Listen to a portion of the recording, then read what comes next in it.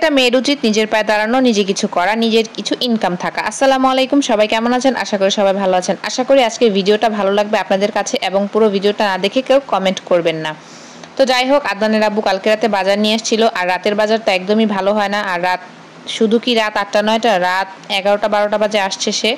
এত রাতে তো বাজারে ভালো কিছু থাকবেই না। দিন শেষে যে হচ্ছে সবজিগুলো থাকে, ওগুলো কিন্তু একদম অন্যরকম হয়ে যায়। তার জন্য হচ্ছে আমার শ্বশুর একটু বকাই দেয় যে কেন রাতে বাজার আনতে হবে। আসলে ও রাতে আসার সময় আসলে সবজি পায় না। দুই এক সময় পায়, তাই নিয়ে আসছে। এখানে কিছু মূলা ছিল আর লাউ ছিল। তো মূলাগুলো বেশি একটা ভালো ছিল না, তো আমি ছুলে নিচ্ছিলাম সুন্দর করে কেটে কেটে। আর এখানে হচ্ছে লাউটাও কেটে নিব। আজকে লাউ দিয়ে মুরগি রান্না করব আর হচ্ছে মূলা দিয়ে মাছ রান্না করব আমার শ্বশুরের জন্য। উনি আবার মূলাটা না খেতে খুব বেশি পছন্দ করেন। যাই হোক, আজকে যে বিষয় নিয়ে কথা বলব, প্রথমে আপনাদেরকে বলতেছিলাম প্রত্যেকটা মেয়ের উচিত নিজের পায়ে দাঁড়ানো, নিজে কিছু করা, নিজে ইনকাম করা। হ্যাঁ অবশ্যই উচিত। কারণ নিজের একটা শখের জিনিস পূরণ করার জন্য অন্যের কাছে বারবার আবদার না করা। সে যেই হোক, বাবা হোক, স্বামী হোক, তার কাছে বারবার হাত না পেতে নিজের ইচ্ছে মতো নিজের কিছু ইনকাম থাকলে সেটা দিয়ে সে করতে পারে। তার ইচ্ছে করতেছে সে একটা কিছু কিনবে, হঠাৎ করে। কিন্তু দেখতেছে যে পারতেছে না বা সাংসারিক কারণে বা বিভিন্ন কারণ থাকে, তাই না?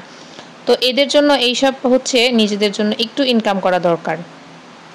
আর মেয়েরা কিন্তু অনেক সঞ্চয় করতে পারে, তারা ভবিষ্যতের কথা ভাবে। তো এই ভবিষ্যতে কিন্তু মেয়েদের অর্থটাই হচ্ছে কাজে লাগে। ছেলেরা কিন্তু বেশি একটা সঞ্চয় করে না, যেটা একদম সত্য। খুব কম ছেলে মানুষ আছে যারা সঞ্চয় করতে পারে। মেয়ে মানুষই কিন্তু সঞ্চয় করে। তারা কিছু টাকা রাখে ভবিষ্যতের কথা চিন্তা করে, যাতে সে, তারা ভবিষ্যতে সেটা কাজে লাগাতে পারে এবং কিছু করতে পারে। তো যাই হোক, আজকে কিছু কথা বলব। এক ইন্ডিয়ার আপু হচ্ছে আমাকে মেসেজ দিয়েছে। তিনি হচ্ছে ঘরে থাকে, সন্তান আছে, ছোট বাচ্চা আমার মতন। তো উনিও কিছু করতে চায়, উনি হচ্ছে একটা পেজ খুলেছে কিন্তু কিছু করতে পারতেছে না।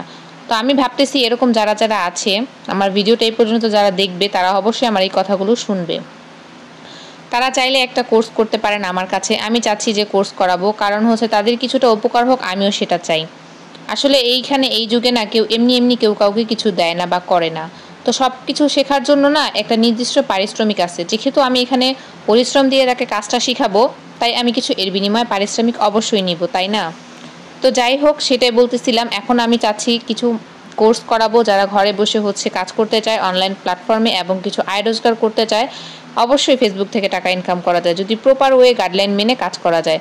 তো এইখানে হচ্ছে যারা যারা কোর্স করতে চাচ্ছেন, আমার হচ্ছে পেজে নক দিবেন, আর আইডি দিয়ে অবশ্যই নক দিবেন ফেসবুক আইডি দিয়ে নক দিবেন, কারণ পেজ থেকে পেজে কখনোই নক দেওয়া যায় না।